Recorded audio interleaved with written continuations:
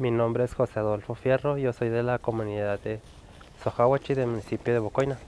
Pues digamos que me sentí, digamos, bien, porque nunca la había escuchado, pero son cosas que, que, los pueblos necesitan, digamos, por ejemplo, verla como vocera.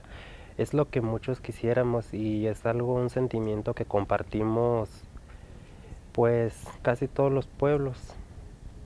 Eh, me, sí me gustaría, me llama la atención de saber más, aunque no formara parte. Yo digo que se puede hacer mucho por una comunidad, por ejemplo en la mía. Digamos que no conocemos esas cosas, ni a veces ni siquiera conocemos qué, qué derechos tenemos o qué podemos hacer. Entonces ya conociéndolo más, yo creo que se podría hacer algo más y, o concientizar a otras personas, involucrarlas, aunque o sea, sería mm, hacer una comunidad lo casi parecido.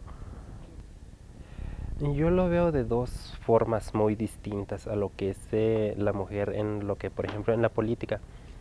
Mm, digamos que pues casi nunca ha podido participar, pero es igual en lo que es la en la etnia indígena pero dependiendo de cada pueblo es diferente. En, nuestro, en nuestra comunidad, para nosotros la mujer siempre ha sido, pues digamos, más importante que el hombre, pero digamos, no, que no, no ha tenido mucha participación. Eh, me pareció muy, muy, muy importante, digamos, tiene mucha información que lo, de lo que está pasando, la problemática que tienen los pueblos indígenas. De hecho, es muy interesante a mí en lo personal me gustó mucho porque tiene mucha información a lo que yo he buscado por, por los problemas que nosotros tenemos. Entonces, digamos, a mí me trae un gran aprendizaje y pienso que si mi comunidad viera esa película, también ya en ellos despertaría algo que ellos no conocen, cómo está hecho todo eso. Por ejemplo, a veces vienen instituciones, hacer cosas allá que nosotros no entendemos, entonces en esta película pues ya viene más explicada, aunque no todos entiendan, pero por lo menos ver la movilización, yo creo que eso cambiaría su forma de pensar. De hecho sí se me hizo muy interesante ver que, que hay unión, o sea, que, que en otras partes o sea, que, que, haya unión entre muchos pueblos indígenas y es algo que a, nuestra comunidad no ha llegado, digamos, nunca ha llegado alguien a ser líder y eso es lo que realmente falta en muchas comunidades, alguien que tenga la voz o tenga la capacidad para hacerlo o el valor para enfrentar eso y es por eso que muchos, pues no, muchos pueblos están así, siguen agachados abajo por lo mismo porque no hay un líder.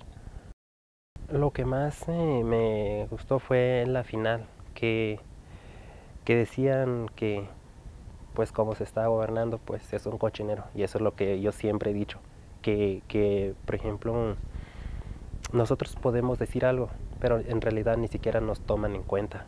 Podemos decir, podemos ser miles los que queremos el cambio, pero siempre los de arriba nunca nos hacen caso. O sea, nosotros no, aunque quieramos hacer el bien, nosotros simplemente no digamos que no nos tomen en cuenta nuestra palabra no vale para ellos. Y eso fue lo que dijo un señor y lo que dijo Marichuy también eso es digamos algo que es muy importante para mí.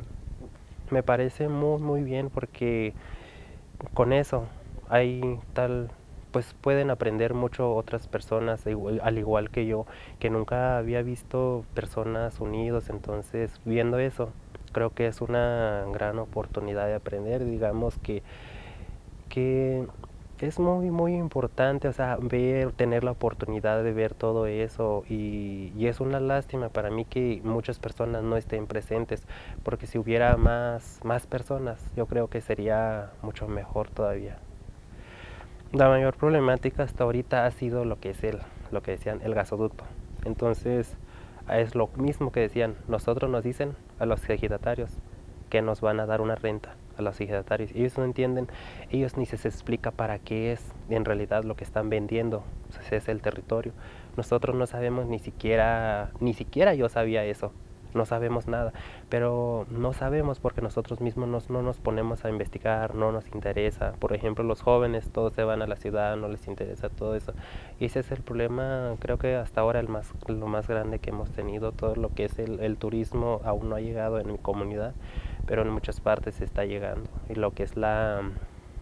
El problema más grande también es la, la tala de los árboles, lo que es el... todo es legal. No, no hay ninguna organización porque todos los que están en la comunidad son personas mayores que no, que simplemente no alcanzan a comprender lo que es la, en la forma en que se está gobernando o lo que son las leyes. Ellos ni siquiera saben que existen leyes que pueden protegernos y eso es porque nosotros los jóvenes nos están dando, digamos, una educación.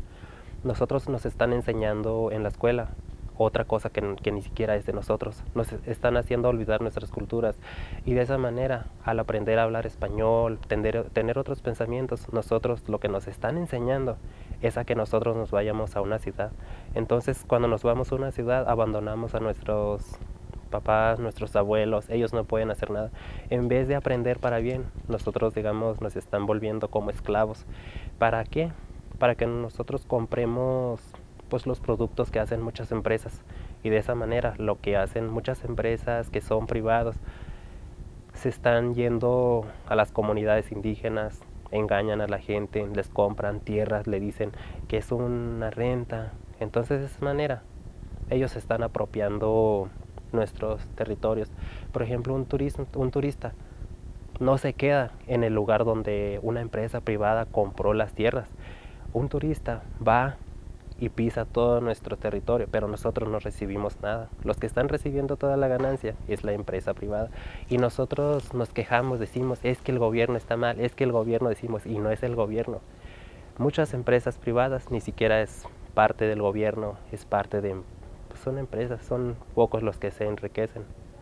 Lo que a mí ahorita más me tiene, digamos, más, más presente es de que los jóvenes pues están yendo, están abandonando sus tierras, y no están recibiendo una educación en lo que es la, política, lo que son los derechos que protegen a los pueblos indígenas. Ahorita puedes preguntarle a cualquier joven, ni siquiera sabe que existe, por ejemplo, yo hace poquito apenas supe que existía lo que es el convenio 169, que es el que protege a los pueblos indígenas, tribales y todo eso, pero la mayoría de los jóvenes no los conoce.